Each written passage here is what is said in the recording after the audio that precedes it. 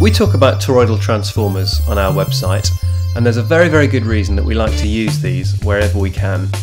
Now, in the hi fi world, there are typically two types of transformer.